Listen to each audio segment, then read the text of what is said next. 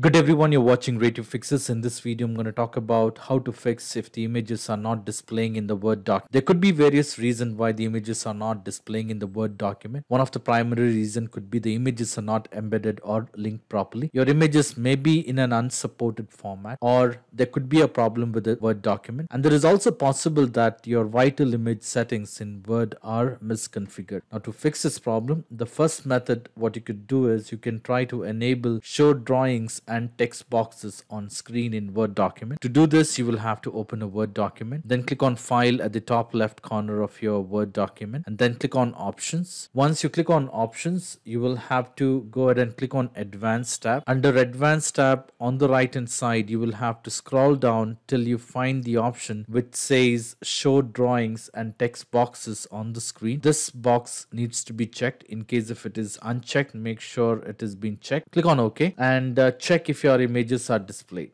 If it is displayed well and good, you don't have to try the next step. Now, the second method is to enable print drawing created in Word. To do this, uh, you will have to go back to your Word document. Click on File at the top left corner and then click on Options. Once you click on Options, you will have to click on Display. Under Display, under the printing option, make sure Print Drawings created in Word is checked. So in case if it is unchecked, make sure it has been checked. Once it is done, you may go ahead and click on OK and close the Word document and then try to open the document where you're having a trouble. See if you're able to display the images in the Word doc. In case if it works well and good, you don't have to try the next step. The next step is to go ahead and enable the draft quality. To do this, what you can do is you can open a Word document, click on File at the top left corner of your screen of the Word document, and then click on Options. Once you click on Options, you will have to go ahead and click on Advanced. Under Advanced, you will have to look for Print option on the right hand side. So scroll down a bit until you find print option here. And here uncheck the option which says use